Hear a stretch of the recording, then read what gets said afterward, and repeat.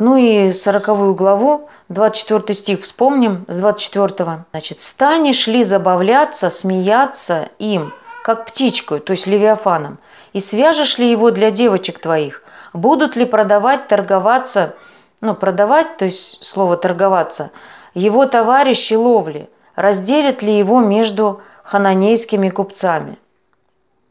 И Откровение 18.2. И воскликнул он сильно громким голосом, говоря, «Пал, пал Вавилон, великая блудница, сделался жилищем бесов и пристанищем всякому нечистому духу, пристанищем всякой нечистой и отвратительной птицы, ибо яростным вином блудодеяния своего она напоила все народы, и цари земные блудодействовали с нею, и купцы земные разбогатели от великой роскоши ее». Итак, что мы здесь видим? Что здесь, ну, если в контексте того, что мы сейчас читаем, язык торговли, да? То есть а, купцы разбогатели – от роскоши, купцы земные разбогатели от великой роскоши ее. Кого? Вот этой блудницы, Вавилон блудницы. А здесь мы читаем про Левиафана, что будут ли продавать его товарищи ловли разделять его между хананейскими купцами. То есть здесь вот видно такую связь. А, купцы, слово ключевое, купцы земные, да? И как раз образ а, Вавилон – великая блудница – это образ сатаны, да? То есть сатана ею владычествует над нею, управляет ею. Ну, то есть как в ней, в, в ее лице, да, выступает как бы. И здесь тоже Левиафан в образе сатаны. То есть сатана в образе Левиафана. Или Левиафан в образе сатаны. Так вот, поэтому здесь мы видим, что это можем сделать такой Вывод, что это об одном. Об одном. И Еремея 5.27. «Как клетка, наполненная птицами, домы их полны обмана, через это они возвратились и разбогатели». То есть через что разбогатели? На, как клетка, наполненная птицами. То есть тоже птицы, да?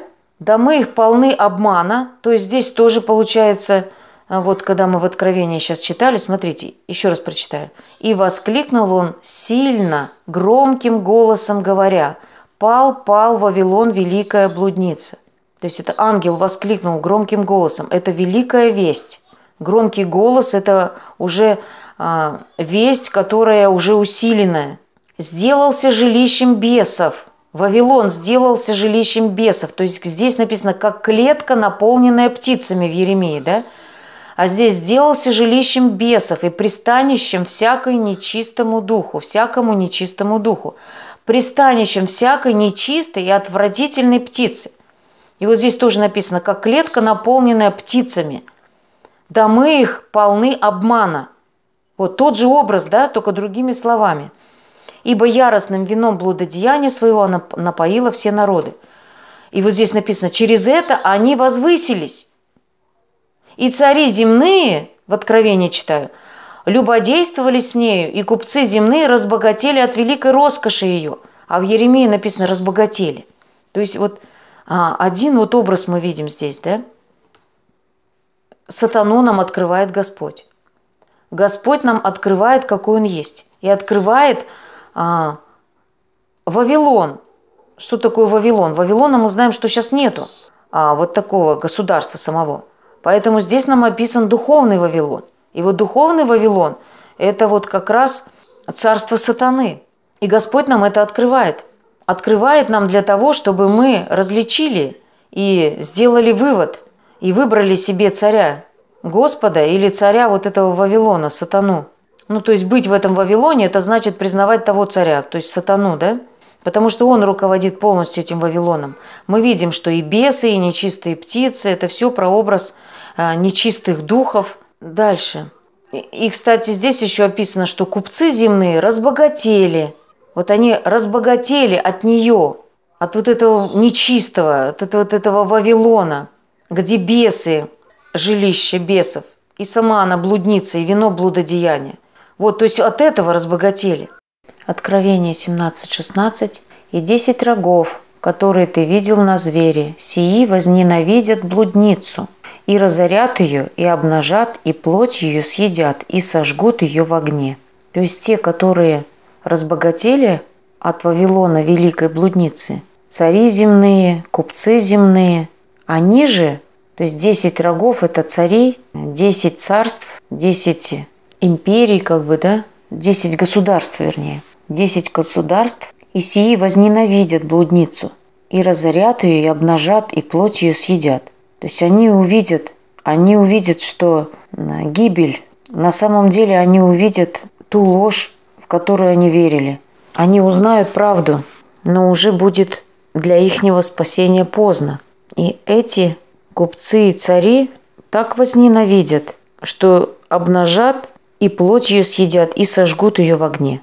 И мы в Откровении знаем, что и по вас плачут, и возрыдают, какой был город, да, великий Вавилон. Вот такая участь ждет Вавилон и великую блудницу, и великую блудницу. Также мы видим эти же ключевые слова, 3 Царств 21-23. Также и о Изавеле сказал Господь, «Псы съедят Изавель за стеною Израиля». И так и было. Итак, Изавель тоже ввела в блуд израильский народ, Божий народ, и мать с Галаада была – это весть Илии для народа. Но Изавель, мы в книге Откровения тоже читаем, она не покаялась. То есть она не покается. Она не признает свои, свою вину, грехи, не покается. И такие же ключевые слова написано, что псы съедят Езавель за стеною Израиля, то есть вне. И так и было с Езавель, как сказал о ней Бог через пророка, через Илию. Читаем дальше Псалом 21:17. «Ибо псы окружили меня, скопище злых, обступило меня, пронзили руки мои и ноги мои». То есть здесь мы видим, что псы окружили меня. Это пророчество об Иисусе Христе. То есть Давид переживал то и пророчески написал об Иисусе Христе, что псы окружили меня, скопище злых обступило меня, пронзили руки мои и ноги мои. То есть это пророчество об Иисусе Христе, о распятии Его, как пронзили Его руки и ноги, пригвозили ко кресту. Кто? Здесь описаны псы окружили меня. Выше мы прочитали, что псы съедят Иезавель за стеной Израиля. То есть от Иезавели только остался череп, кисти и стопы ног. И псы эти за стеной Израиля. Кто такие псы? Притча 26.11. Как пес возвращается на блевотину свою, так глупый повторяет глупость свою. То есть здесь кликается сразу слово «глупый», то есть глупые неразумные девы, да, пять дев – еще глупые – это те, которые неверующие, неверующие. Но те, которые не верят в Бога. Глупый сказал в сердце своем «нет Бога». Дальше Исайя 56.11.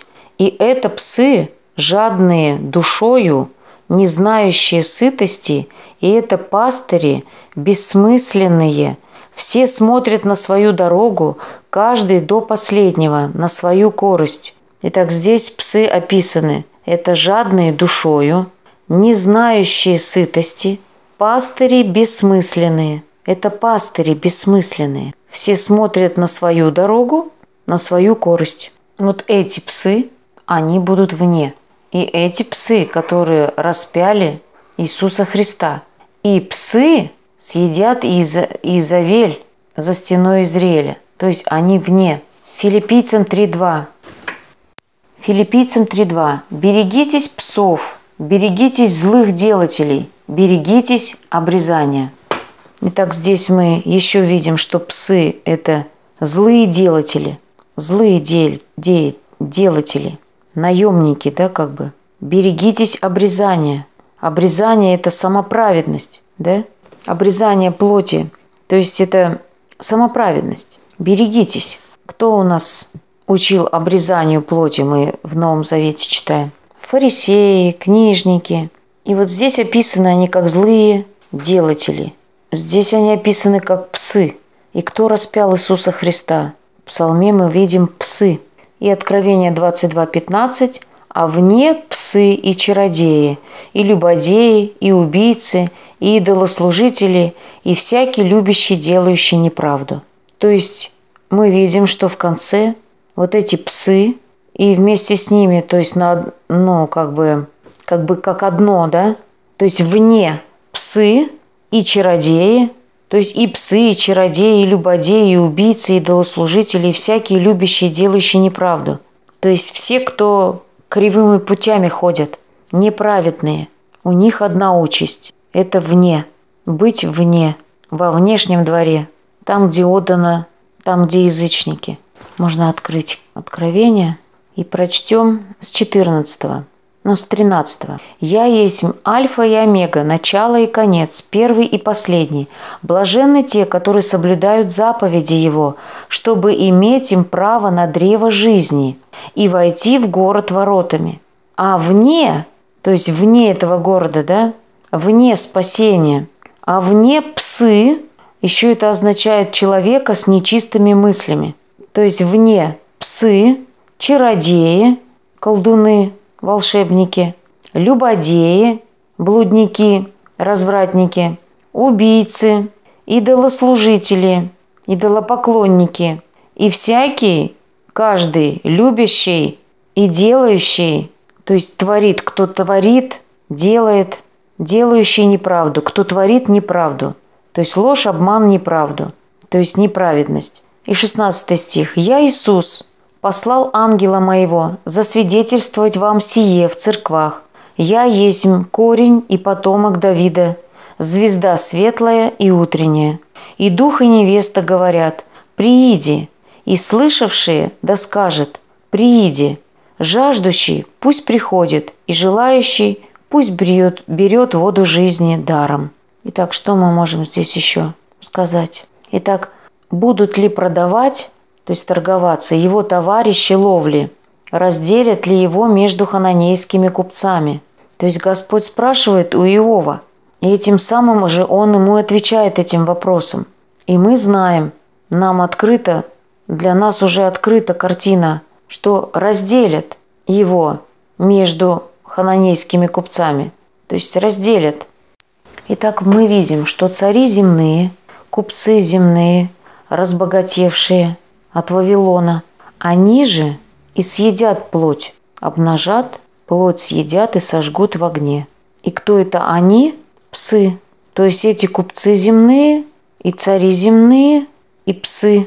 Те, которые будут вне Нового Иерусалима. То есть не спасенные. Итак, товарищи, которые будут продавать и разделят его между хананейскими купцами, то есть Левиафана – то есть эти же товарищи, то есть купцы и цари, даже можно сказать вот эти товарищи ловли, как цари земные, так как здесь вот ключевые слова цари земные и купцы земные. А любодействовали, цари земные любодействовали с нею.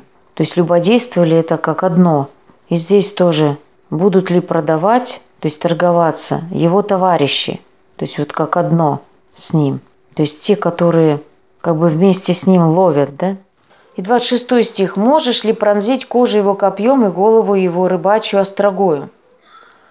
Здесь мы тоже увидели в прошлый раз, да, что пронзить голову, это нас как раз переносит, это ключевое слово, э, переносит нас на Бытие 3.15. «И вражду положу между тобою и между женою, и между семенем твоим и между семенем ее. Оно будет поражать тебя в голову, то есть семя это, да? И ты будешь жить и ты будешь жалить его в пету. Итак, мы увидели здесь, что семя – это пророчество об Иисусе Христе, и это семя будет поражать тебя в голову. То есть сатану, змея, Иисус будет поражать в голову, а ты будешь жалить его в пету. То есть это Голгофа, да? Ну, мы разобрали, да, увидели это. Итак, поражать тебя в голову. То есть это такое слово, ну-ка надо посмотреть его – оно такое ощущение, что оно действие какое-то означает не просто один раз, а действие. Сейчас попробуем разобрать. «И вражду положу между тобою и между женою, и между семенем твоим и между семенем ее». Оно, то есть семя, будет поражать, нападать, сокрушать, сокрушать, нападать тебя в голову. Вот тут понять бы вот «будет», «будет», «поражать». Такое ощущение, что как множественное число, да, стоит. То есть не паразит, а будет поражать тебя в голову. а ты будешь жарить его в пету. Так, здесь вот тоже какое-то нам послание, да? То есть поражать тебя в голову, как будто не один раз, да? И если мы видим, что сатана здесь описан нам в образе Левиафана, то Господь говорит Иову, ну, сможешь ли ты с ним вот так сделать? Сможешь ли ты его связать и так далее? То есть Господь показывает, что Иов, а чтобы Иов видел, что сатану может поразить только Господь. И только Он может над ним владычествовать. И далее пронзить кожу его копьем и голову его рыбачья строгою, можешь ли ты пронзить? То есть здесь тоже а, он открывает Иову, что это может сделать, поразить его в голову только Господь. Вот это семя, то есть Иисус Христос, Сын Божий, больше никто, никто не мог его поразить. Не Адам, если бы он даже хотел исправить свою там вину, да, он не мог бы отдать свою жизнь э, или там поразить сатану в голову. Не мог. Это мог сделать только Иисус Христос, Сын Божий. То есть только Бог может его поразить в голову. И это мы должны увидеть. И далее. А так как здесь оно будет поражать тебя в голову, то есть семя, здесь стоит как бы во множественном числе. Поражать, то есть не один раз поражать в голову, то здесь мы можем увидеть послание, как в Откровении написано. Они победили его кровью Агнца и словом свидетельства своего. То есть мы можем во Христе побеждать его только кровью Агнца и словом свидетельства своего. И как побеждать? Побеждать его в своей жизни. Так? И, возможно, какие-то тоже территории, да, вот, ну, которые Господь, э, ну, возможно, и даже и более того, да, делать. Но это только когда семя его в нас. Вот семя Христа, семя Иисуса Христа в нас, и сам Иисус его поразил в голову на Голгофе. И это семя, когда в нас, мы тоже можем его поражать в голову. Как? Словом свидетельства своего и кровью Агнца, да? Кровью Агнца и словом свидетельства своего. То есть мы должны иметь эту веру, что Иисус его победил, и если Иисус в нас, то Он победитель над сатаной. И, соответственно, если Христос победитель в нас, то мы побеждаем Его кровью Агнца, то есть вот этой Голгофой, и словом свидетельства своего, то есть верою. И, и верою и Слово Божие, да? Аминь. Вот такое нам напоминание опять. Послание тоже. Следующее. 27. «Клади на него руку твою и помни, вперед и помни, вперед более не будешь, вперед не будешь. И вот как бы оригинал мы смотрели, да? Слово «помни» означает «помнить», «вперед», то есть «более». И получается вот такой, вот такой как бы понятный перевод для нас – это «клади на него руку твою и помнить о борьбе, более не будешь». То есть на кого класть, класть руку твою? На Левиафана, так? То есть на сатану руку твою. И это нам образ а, Йом-Кипура, судный день, когда два козла было а, приведено.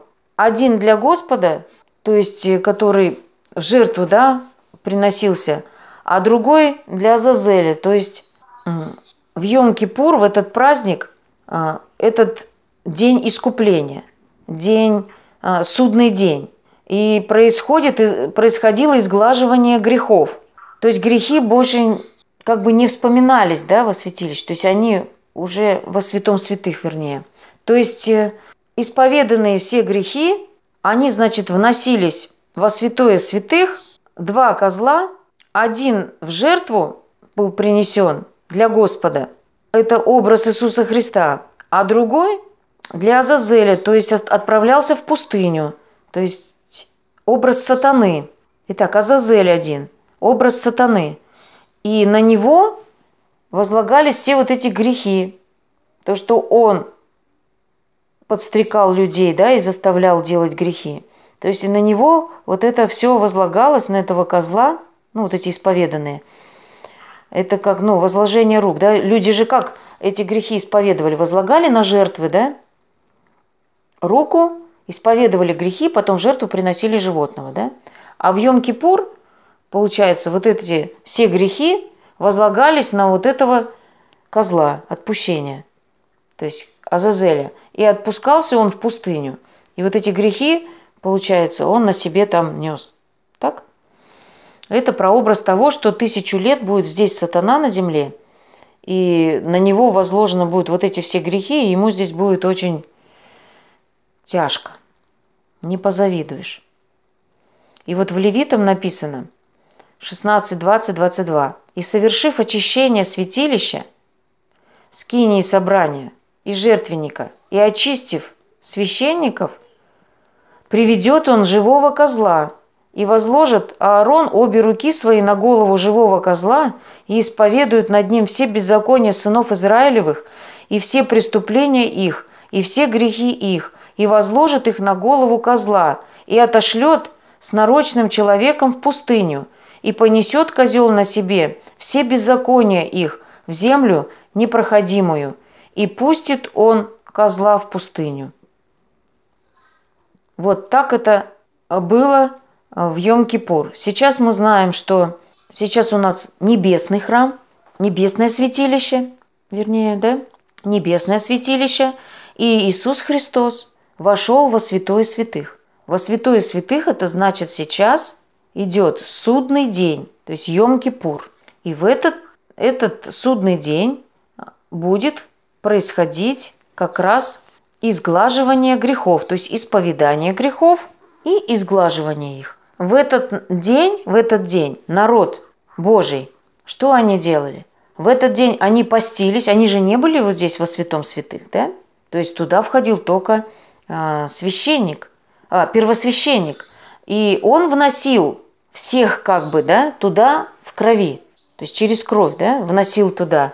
А народ, они верили, что происходит сейчас изглаживание грехов. То есть Господь прощает их, да, и изглаживает им грехи, Бог, Господь Бог. И они в этот день 25 часов были в посте, молитве, в покаянии. То есть если понимать, э, что сейчас идет этот Йом-Кипур праздник, да, духовно я имею в виду, то что мы сейчас должны делать? Исповедовать свои грехи, поститься и верить, что Господь изглаживает наши грехи. Так? И затем он возложит это на сатану, на этого козла Зазеля, да, прообраз, и он понесет это все. Тысячу лет будет здесь, на земле, как в пустыне, среди трупов, трупов и всякой нечистоты. Итак, опять же здесь язык святилища, да, мы видим. Напоминание нам о Господе, о ходатае нашем, что Он сейчас во святом святых, пред Отцом Небесным ходатайствует за нас, да? Это вот как раз вот исповедует грехи наши. То есть и мы веруем, мы не видим, как и народ Божий не видели, что там первосвященник делал, да? Так и мы не видим, что он делает, но мы верим, что Иисус Христос сейчас перед Отцом Небесным ходатайствует за нас, и а, происходит изглаживание грехов. Вот, то есть судный день идет сейчас над мертвыми и будет над живыми. И вот это слово «очистив святилище», «очистив», смотрите, «и совершив очищение святилища, скинии собрания и жертвенника, и очистив священников, приведет он живого козла». То есть, что произойдет прежде, когда на козла будут возложены грехи? Смотрите, очищение святилища, скинии собрания жертвенника и очистив священников – то есть очищение святилища, очистив священников.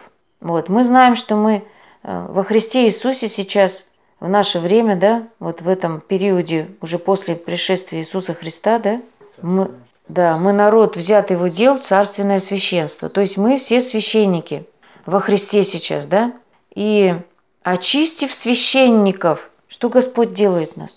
Очищает. И очищение святилища происходит, да?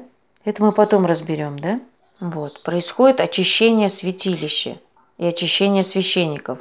И затем приведет козла. То есть прежде будет очищение нас, очищение святилища. Так? Дальше. 41 глава. Иова 41, с 1 стиха. Надежда, надежда тщетна. Не упадешь ли от, от одного взгляда его? То есть от одного взгляда можно упасть. То есть такой вот он Страшный и ужасный этот Левиафан, да? Этот сатана. И надежда тщетна на то, что ты что-то сможешь с ним сделать. И другой перевод еще «Да, надежда победить его оказалась ложной. Разве не заставит упасть один лишь вид его? И так невозможно его победить человеку. Вот своими силами человеку его невозможно победить. Надежда тщетна победить его. Разве не заставит упасть один лишь вид его? Слушайте, ну может быть очень даже хорошо, что мы сатану не видим, потому что мы бы испугались. Да? Вот как здесь описано. Мы бы заставит упасть один лишь вид его. И вот Господь нам его открывает, мы его как бы, ну, видим, да, но уже как нам Господь открывает. То есть уже э, со стороны Божьей, когда мы уже знаем Бога, тогда мы уже можем посмотреть и на сатану, да, разглядеть его. Тогда у нас нет страха, потому что Бог Вседержитель, Он владычествует над ним. Он только может его победить, только Он может поразить его в голову, да, и Он его поразил в голову. И будет еще поражать в голову, да, через, э, через, семь, через семя, через народ Божий, да семя, которое в народе Божьем, семя Христа. Вот, и тогда мы смотрим, и нам уже нас не ужасает, да, и не упадем мы от вида Его, потому что Господь, прежде нам Господь открывается.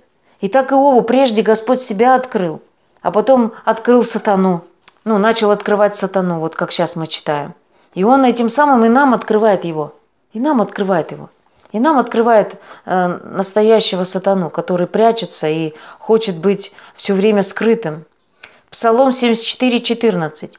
«Ты сокрушил головы чудовища, ты отдал его в пищу народу, пустыр... пустынникам». Так, ты сокрушил головы чудища, ты отдал его в пищу народу пустынникам. Итак, в синодальном переводе Псалом 73, 14. Ты сокрушил голову Левиафана – отдал его в пищу людям пустыни. Итак, ты сокрушил, то есть ломать, мучить, притеснять, угнетать, то есть сокрушать, ломать голову, голова, голову Левиафана, то есть морского чудовища, отдал, предавать, приносить, отдал его в пищу, то есть как еда, хлеб, в пищу людям пустыни, обитатели пустыни, зверь или человек. То есть обитатели пустыни – это нам прообраз зверей, которые в пустыне, да? Это прообраз нечистоты. Откуда у нас а, сатана, змей? Из зверей полевых, да? То есть оттуда сатана. И куда он отпустится? Туда же, Азазель, в пустыню. И вот несколько мест Писаний со словом «пустыня». Посмотрим. Итак, Псалом 71.9. «Падут перед ним жители пустынь, и враги его будут лизать прах». То есть вот жители пустынь падут. Дальше, Псалом 73, 14.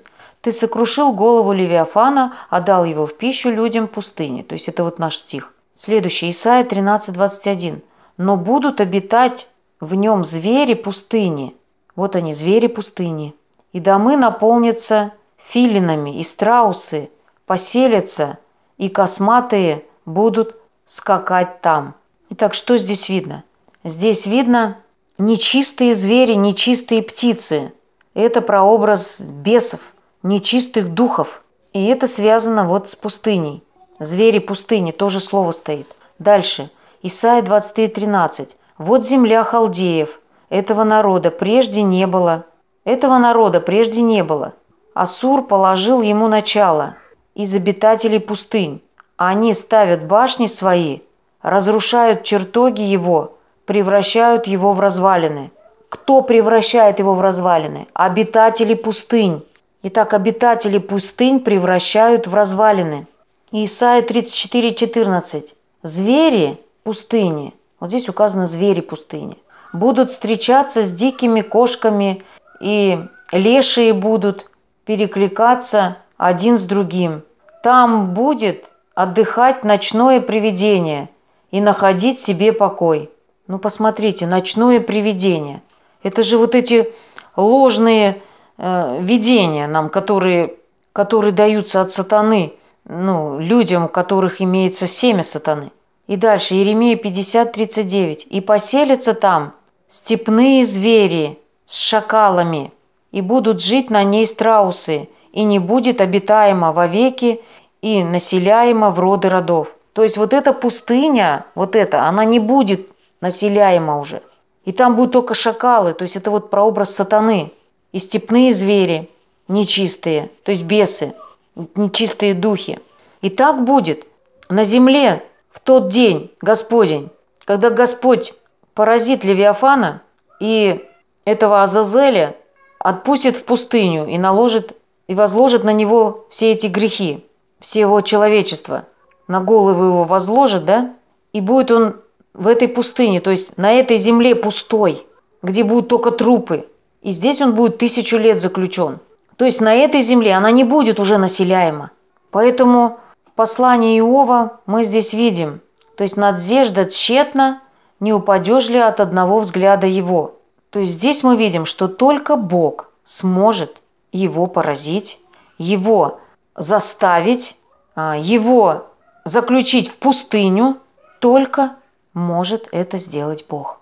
Драгоценный наш Иисус. И Псалом 103, 26. Там ходят суда, это чудовище, тобой образованное, чтоб тешиться в нем. Это вот другой перевод, теперь синодальный посмотрим. Там плавают корабли, там этот Левиафан, которого ты сотворил, играть в нем. Итак, там плавают, то есть ходят корабли, да, плавают, исчезают, удалятся, прохаживаться – вот это слово «плавают». Двигаться, ползти, исчезать. Итак, там плавают корабли, корабль, судно. Там этот Левиафан, морское чудовище, которое ты сотворил. Итак, здесь корабли. Какие корабли? Мы видим. Корабли здесь. Это прообраз церкви, церквей. И вот они плавают.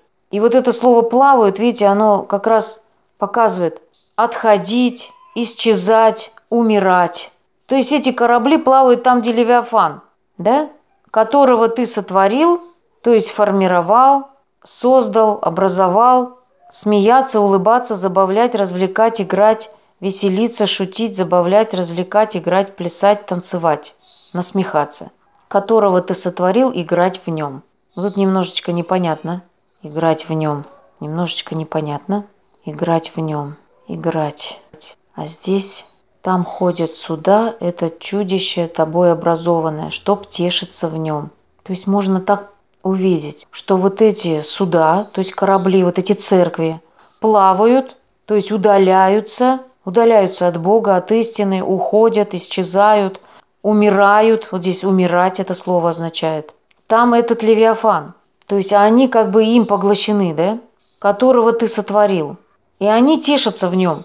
То есть такое ощущение, что вот они, корабли, тешатся в нем. Они тешатся, то есть смеются, надсмехаются, это все в нем. Как будто они вот поглощены им. Я, бы, я вот так вот вижу. Вот, поэтому надежда тщетна. Не упадешь ли от одного взгляда его? То есть на него э, надежда победить его, то есть сатану Левиафана, э, это ложная надежда. То есть этого, это все тщетно. Это сможет победить его только Бог. Слава Господу! И Он это хорошо нам здесь открывает, этого Левиафана. И другой псалом 104, 26. Там ходят суда, это чудище тобой образованное, чтоб тешиться в нем. Итак, сам образ ясен здесь, да, что человек, нет у него надежды победить сатану, то, то есть этого Левиафана, что от одного только взгляда можно от одного его вида, взгляда можно упасть. Вот это показывает Господь. То есть без Бога невозможно. Все, вот упасть можно, вот без Бога. Дальше, Исайя 27.1. «В тот день накажет Господь мечом своим тяжелым и большим и крепким Левиафана, змея прямобегущего, и Левиафана, змея извивающегося, и убьет чудовище, которое в море». Итак, в тот день это какой день? День Господень. В тот день, когда вернется Господь за своим народом, да, во второе пришествие Господа, в тот день накажет Господь мечом своим тяжелым, мечом Слова Божьего, то есть из уст его меч обоюдоострый, да, и он будет поражать сатану мечом тяжелым своим, и большим, и крепким Левиафана – змея прямо бегущего и левиафана змея извивающегося, и убьет чудовище, которое в море. Итак, он, он убьет, он поразит это чудовище, которое в море. Это та большая рыба, которая написана в Бытие нам, да, при сотворении, которую он сотворил, над которым человек не может владычествовать. Это сделает сам Бог. И он уже поразил его в голову на кресте. А теперь поразит его мечом обоюдоострым, да, Словом Божьим. То есть своим тяжелым, большим. Так, откроем-ка мы Исаия 27.1. Исаия должно совпадать. Итак, наш перевод синодальный. В тот день поразит Господь мечом своим тяжелым и большим, крепким Левиафана змея прямо бегущего и Левиафана змея из, изгибающегося, и убьет чудовище морское. То есть перевод совпадает, да? Такой же. Единственное различие тут изгибающегося, а там извивающегося, да? Извивающегося. Итак, разберем тут несколько слов. Так, своим тяжелым мечом, своим тяжелым и большим. Попробуем поискать. Есть еще в Исаии 43.14. «Так говорит Господь Искупитель ваш, святый Израилев, ради вас я послал Вавилон и сокрушил все запоры и халдеев, вели... величившихся кораблями».